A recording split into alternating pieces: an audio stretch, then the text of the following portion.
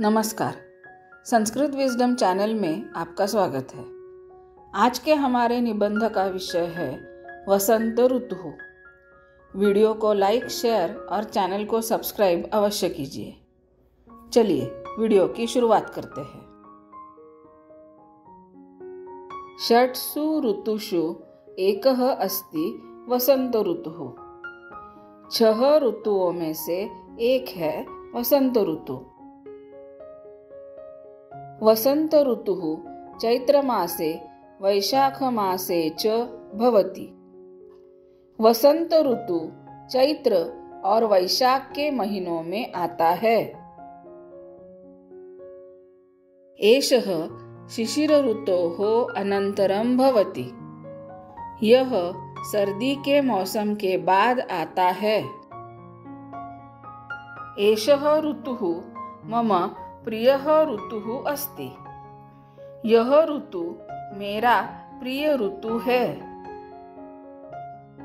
अस्मिन् ऋतौ वृक्षाणां नूतनानि पत्राणि जायन्ते। इस ऋतु में पेड़ों पर नए पत्ते आते हैं। नैकानि पुष्पाणि अपि विकसन्ति। अनेक फूल भी खिलते हैं। वृक्षेषु च बहवह खगाः कूजन्ति। पेड़ों पर पक्षी चहचहाते हैं। बहिः क्रीडितुम् अपि अवसरः भवति। बाहर खेलने का भी अवसर होता है। सर्वत्र आनंदस्य वातावरणं भवति। सर्वत्र आनंद का वातावरण होता है।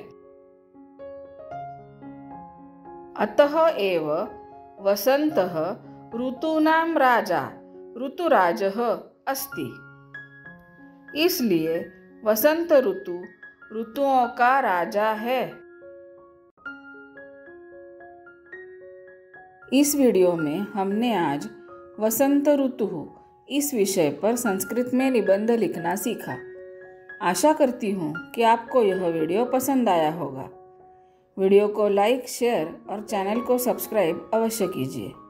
धन्यवाद।